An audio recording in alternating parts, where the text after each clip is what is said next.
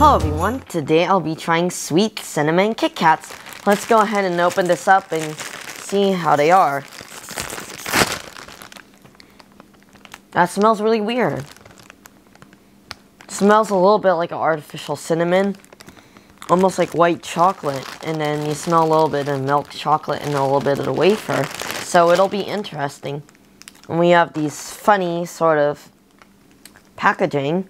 Not sure what it's supposed to be. I think it might just be a Kit Kat bar.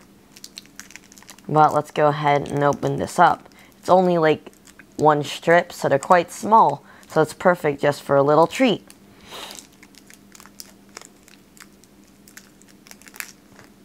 And here we go.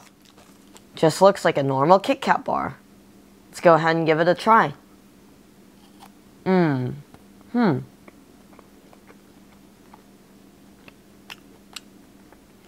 You know what? That's not bad.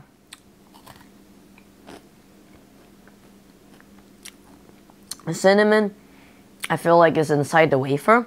And it actually goes a lot better than I thought it would go. And I wasn't really expecting a lot from this. I have to say it was a pleasant surprise, so I have to give it an 8 out of 10.